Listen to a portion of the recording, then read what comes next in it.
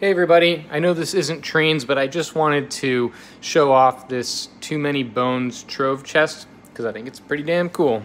And Eric was asking what Too Many Bones is. So, uh, anyways, it's this big box, it's about five pounds, and it stores everything that's out for Too Many Bones. I don't have all the expansions at this point, um, but I have everything in here organized and labeled, so I'm just gonna go through it. There is a front cover that slides down. You can see the um, the grooves here, but because the box is so heavy when it's full, I just took the lid and I put it in here facing backwards because uh, I probably will never take the box out of this cube. So anyways, this uh, comes with this big crossbone handle. It's pretty heavy and it sticks onto the front of the drawers.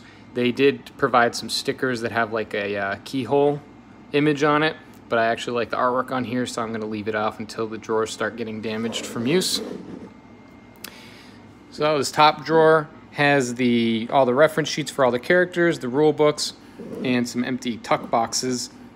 They're empty because the cards are stored in another drawer. Drawer number two is all of the um, player characters. They're in these nice acrylic boxes with all the dice and the chips. And it came with uh, some pretty nice, they're like uh, almost a metallic matte finish. And there's two extras, so I guess there's more characters coming. Here are all the character neoprene mats and uh, the cards with dividers for uh, the encounters and all the loot and some more empty tuck boxes. Continuing on down, this is a chip tray. Um, it's got four chip trays. One is empty in the back there. That's to hold the cards while you play. Uh, so it's a card tray, actually. And then three chip trays, which are just baddie chips. And there's another one with the health chips and the uh, player chips. And then all the attack and defense dice and all the other generic, uh, the loot dice, the initiative dice, etc. Anything that's not character or tyrant specific.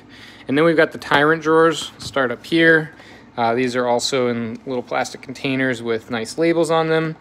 And just to pull one out to show you, it's got the uh, Tyrant encounter and setup cards, Tyrant chips, and dice. Um, there's two spots because some of the Tyrants have a lot of chips with them. I like this one.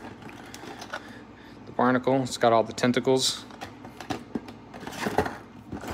And this has all the, the base game and the undertow Tyrants.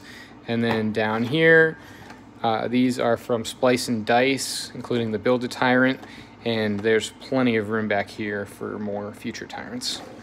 And that's it. Thanks, everyone.